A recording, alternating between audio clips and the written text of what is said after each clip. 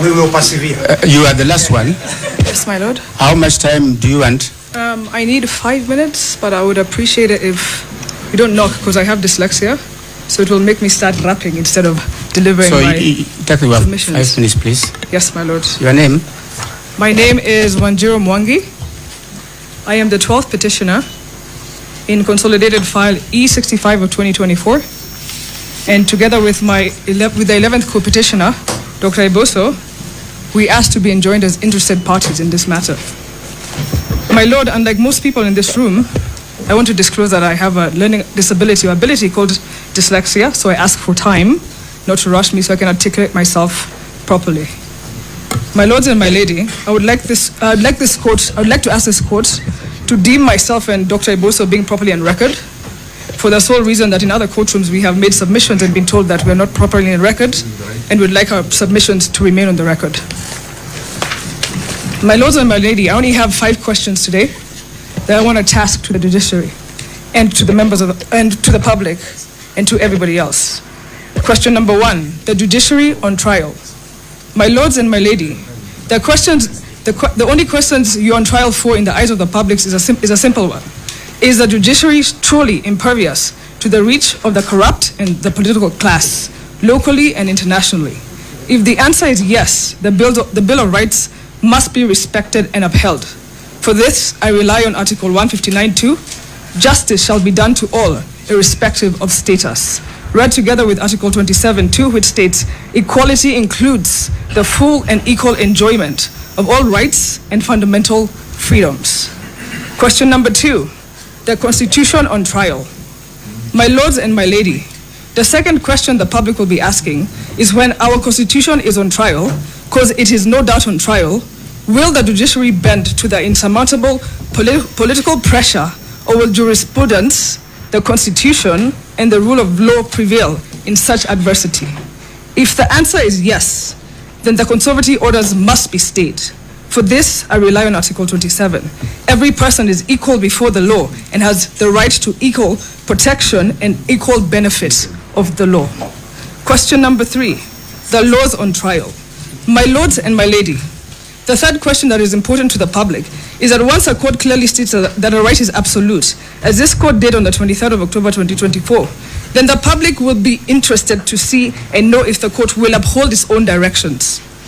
If the answer is yes, then this court, this court must respect and uphold its own directives and guarantee all the petitioners, especially, especially those who prayed for conservative or injunctive orders whose applications have not been heard and determined, including us laymen, the right to a fair trial as specified in Article 50, which reads, every person has a right to have any dispute that can be resolved by the, by the application of a law decided in a fair and public hearing before a court.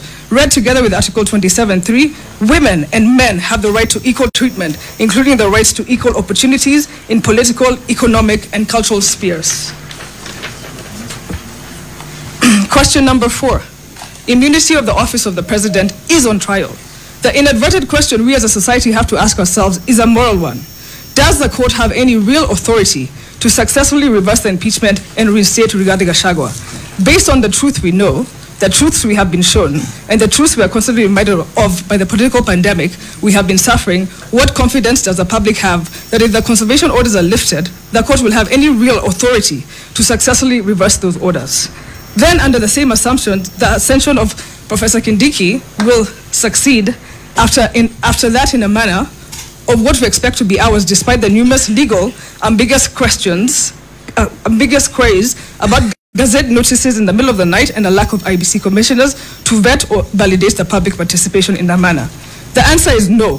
The court will be unenforceable, will be unable to enforce the, on the office of the pre- president as enshrined in the constitution and affirmed by the Supreme Court. The court does not have jurisdiction to force Kindiki, if he's sworn in, to recuse him, to uh, impeach himself. That is the real conundrum in a nutshell, and is, and is as simple as the deputy president assumes office, and if the president is unwell, does the judiciary in fact find the impeachment and end if the, sorry, let me just say it again, please.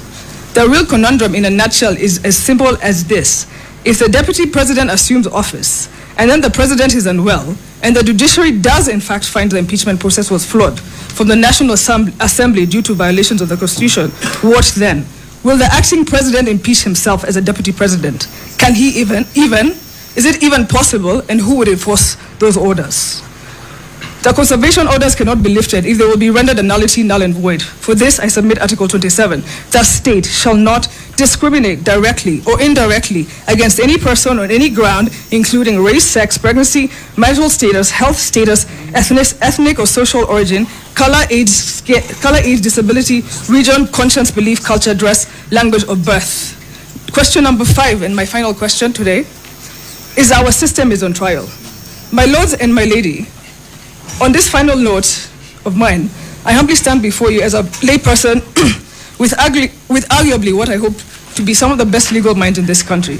As our nation is once again at the precipice of a revolution, as the spirit of our nation is reawakening, I submit to you that I submit to you one of the most progressive documents in, in the modern world, our Constitution, a document which guarantees even terrorists due process, whose words, whose, uh, whose preamble starts with "We, the people of Kenya," and ends with "Adopt, enact, and give this constitution to ourselves and to future generations." It is time to take our place. It is time for the constitution to prevail. It is time to no longer allow political urgency to override judicial processes. Our country will still be intact in 30 days, it, and it will still be intact in 60 days without a deputy president. Our, our, our constitution went so far to envision not only the vacancy of the deputy president, it planned for the eventuality of both the president's office and the deputy's office being vacant.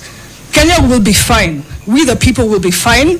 Let the natural cause of justice prevail. It is what we envisioned, and, and it is what we envisioned for an independent judiciary. Thank you, my lords and my lady. I submit the floor. Thank you.